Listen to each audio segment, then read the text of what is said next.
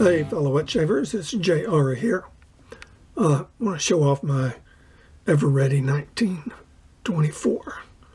Uh, this is a razor I'm going to be using this week, used it this morning, uh, along with my JR 424. This is uh, a synthetic knot I got from uh, Maggard Razors. Uh, and it's kind of a patchwork brush that I made. It's GR424. Going to be using that this week. And then I'm also going to be using this Ever-Ready 1924.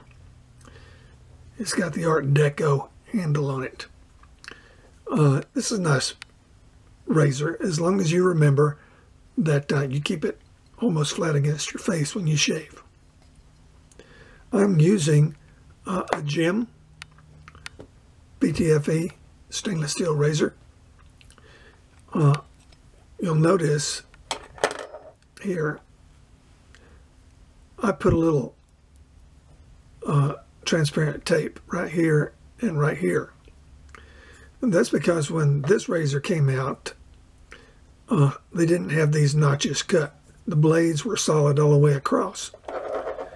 And that's why you have these little jiggers right here so that you can drop the blade in there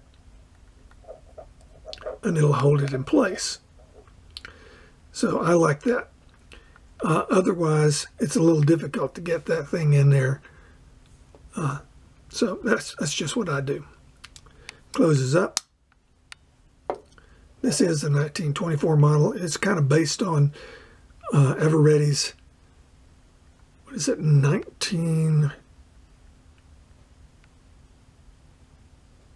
Oh, I forget. 1914? No, not 1914. It's before then.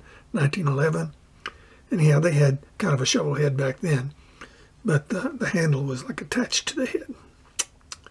But anyhow, so that's what I'm using this week. My Ever-Ready 1924 in my JR 424.